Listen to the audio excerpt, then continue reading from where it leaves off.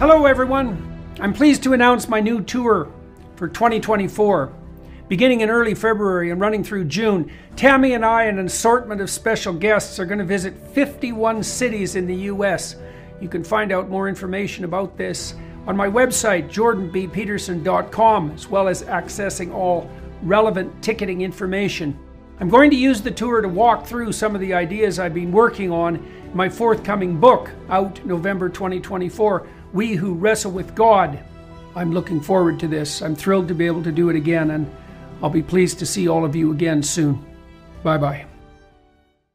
This rise of this managerial class, you see it in the deep state in the federal government. The people who are the political consultants populating the industrialization of our political politics, who are neither ordinary citizens in their own right, nor are they actual purposeful creators, but are the intermediating managers, right? That's what's sucking the lifeblood out of our culture and our country. And I would go so far as to say the modern West as we know it.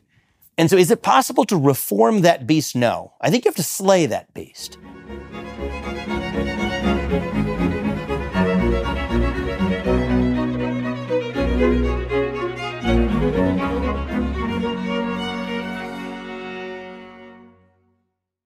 Everybody. I'm talking again to Vivek Ramaswamy. I started talking to Vivek before he ran for president on the Republican side uh, with regard to his endeavors on the ESG alternative front in the financial domain, him fighting back against the climate apocalypse mongers in the economic realm. I've been talking to Vivek pretty regularly as he's progressed through the Republican primaries. He's dropped his striving for the presidency, but established himself quite credibly as a candidate and is still active as a political voice.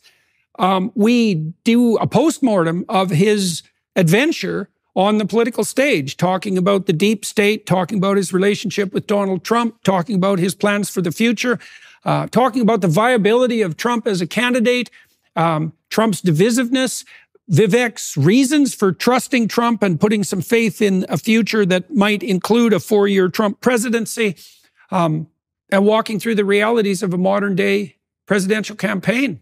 And so join us for that. Hey, Vivek, thanks for coming on again. Um, some of the people watching and listening will know that we spoke, well, before you made your bid for, for the Republican leadership in the presidential race we got to know each other before then. And then you've been kind enough to take us along on your journey, essentially. And we haven't done that for a while. Now, I know that part of your political adventure has come to a conclusion, but I think it would be very useful for everybody who's watching and listening to start from the beginning of, of your entry into the political domain and then just to tell everybody as clearly as you can what happened to you and what you learned, what happened to you, what you learned, and where you are now. So, yeah, yeah. I'm still processing that, and that's why I was looking forward to this conversation because even though it's been a couple months, there's a whole ton of you know transitional to normal life phase of this that I haven't had my own chance to process that, and hopefully this conversation is is part of that for me. So you and I actually spoke before, and you were one of a small handful of people I actually spoke to as I was contemplating this offline, but we had spoken on air before. I was a businessman and I consider myself a businessman now, and I'm thinking about what I'm going to do in the future, trying to drive change through the private sector. I founded a biotech company that challenged a lot of the way big pharma did business. I founded Strive to challenge the way BlackRock and the ESG promoting asset managers were functioning. And those were successes in their own right in different ways.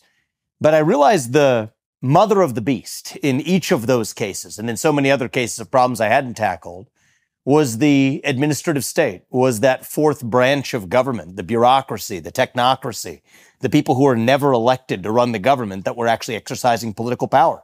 You could take the FDA as an example in the shadow of the pharmaceutical industry, which I had seen firsthand. And the not only the illogical policies, if illogic were the only part of it, it would have been a technically solvable problem. It was a fundamentally political problem where people were exercising political power that they were never given. Same thing with respect to the EPA and the SEC in the case of the asset management industry. And so I came to the conclusion look, life is short. One of the best pieces of advice I got as a younger man was it takes about as much effort and difficulty to do something small as it does to do something big. And I've found over the course of my career that that's been about true. I've done some smaller things, I've done some bigger things, both of which are important, but they take about the same effort if you're doing something well, whether it's something really small or something really large. The amount of individual effort you put in is about the same. And so, look, I said, what is the biggest possible impact I can have? If I'm willing to put all my effort into it, it might as well be the biggest possible impact of all. Let me lead the United States of America. Let me lead the United States of America to a rediscovery of our national ideals. Take on that administrative state, that fourth branch of government, dismantle it to revive, in many ways, the ideals of the American Revolution. I mean, that's what the American Revolution was about. In 1776, we said no to elite technocracy in the form of monarchy. It's a 1776 moment now. Young people did it back then. I was 37 years old when I declared, and most people said that's too young to run for president.